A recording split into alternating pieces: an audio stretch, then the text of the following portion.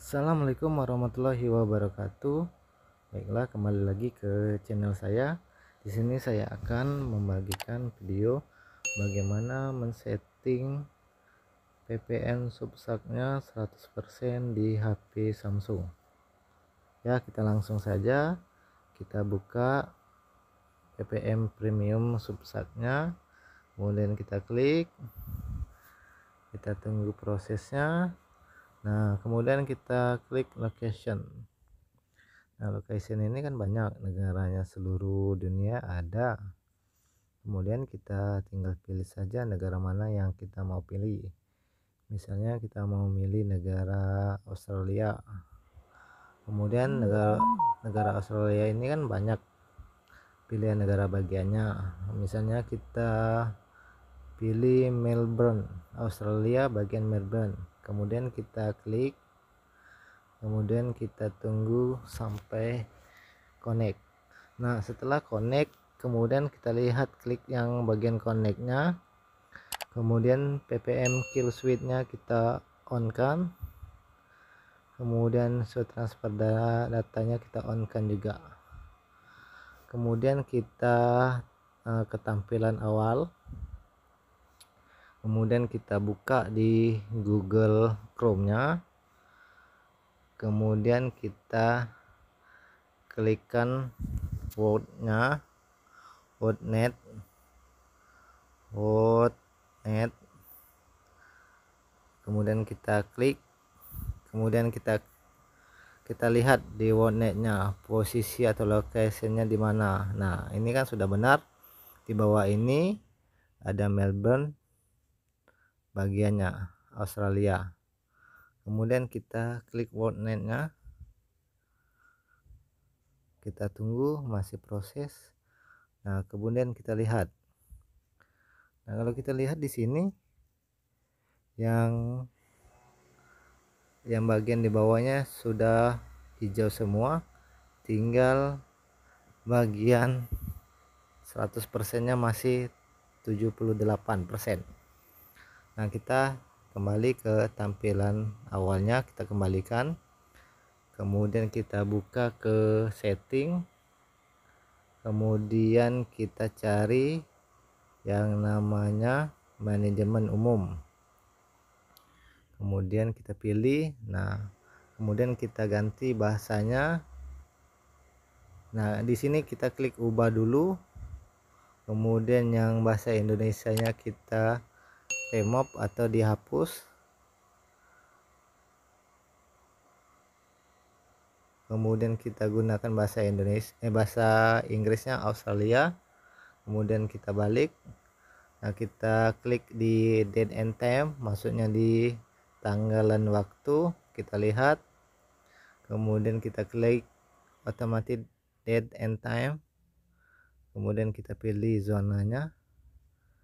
Nah kita pilih uh, region ini maksudnya negara kita ganti yaitu kita tadi uh, memilih Australia kita pilih. Kemudian kita bagiannya tadi bagian Melbourne Melbourne ya. Uh, Melbourne ini sepertinya uh, Brisbane ya coba kita lihat dulu kemudian kita lihat kita kembalikan ke tampilan awal. Nah kemudian kita lihat uh, locationnya juga. Nah kalau VPN ini kita mainkan kita off kan locationnya. Nah kemudian kita pilih. Nah maksudnya kita pilih lagi. Off kan close.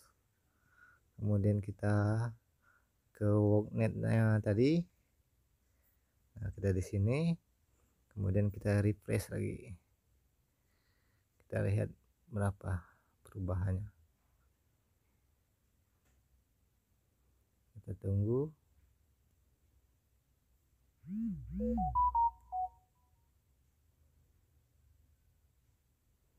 Nah masih 78% ya belum 100% nah kemudian kita klik yang titik tiga di pojok kanan atas.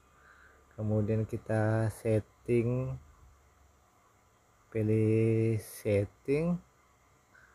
Kemudian kita pilih uh, language-nya. Kita pilih nah di sini kan banyak negaranya.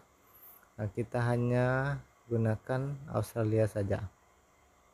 Australia kita yang lainnya kita remove kemudian kita remove kemudian yang lainnya juga kita remove ya nah kemudian kita refresh lagi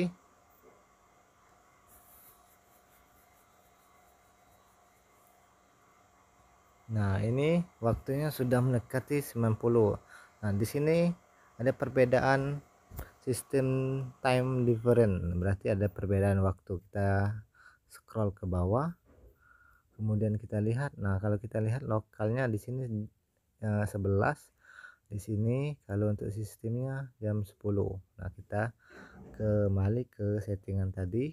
Nah, kembali ke ini kemudian kita buka uh, general management kemudian kita pilih date and time kemudian kita cari yang tadi yang tadi lokalnya 11 mana 11 nah yang ini berarti uh, Sydney dia menggunakan.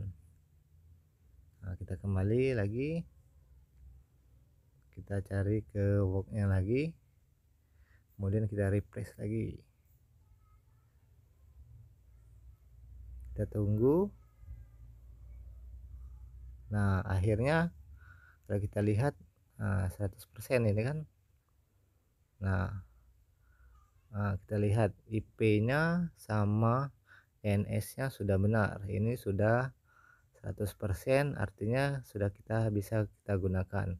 Kemudian kita coba kita buka di my locationnya. Kita buka tampilan tab baru apakah sesuai yang kita pilih tadi? My location. Kita pilih nah ini artinya nah Melbourne sudah benar ya tadi ya.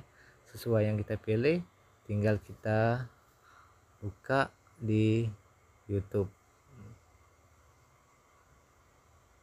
Nah seperti ini. Nah, kalau kita lihat nah ini sudah berubah dia menggunakan bahasa Australia. Jadi ini sudah bisa di kita gunakan. Nah ini kita lihat worknya sudah 100% bisa digunakan. Nah itu saja untuk uh, cara men-settingnya dari saya. Kemudian terima kasih kepada teman-teman yang sudah mau menonton di video saya